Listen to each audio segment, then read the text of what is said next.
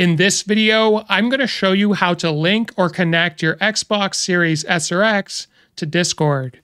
So the first thing you want to do is get your controller and press the X button on it.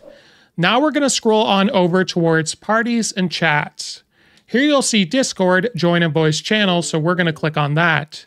Now it'll bring up these options, link your account to Discord, and we're going to go to settings. Now, we don't have anything linked to this account, so it's going to open up Microsoft Edge and prompt you to sign in.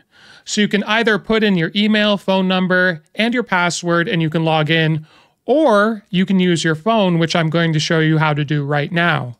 So if I pull up my phone, we're going to go onto Discord. I'm already signed in.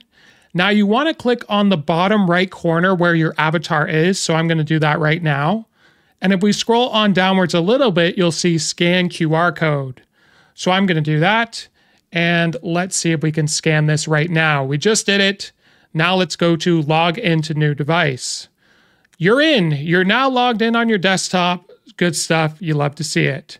Start talking. And now we're going to go back. And now let's go back to our controller here. I'm going to close that and we're going to go to authorize. So this will allow us to actually use Discord on the Xbox. Now we have to agree to some terms as per usual, comes with everything nowadays, and we'll give this a second. I'm sure you read that. Now, connecting your Xbox to Discord. This should only take a second. Let's go to open here and let's see if it's done the job. Now we have officially done it. We have linked our Discord to our Xbox. Show on profile, why not? Let's do it. Now we're going to back out.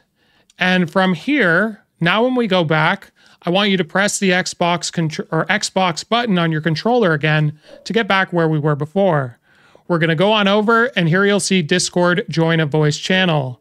So if we go to this now, it'll actually show all the servers we're connected to. And from here, you'll be able to create or join parties, I should say, and talk to your friends online. So I'm going to go to this right here, and here you'll see the different voice chats in my Discord.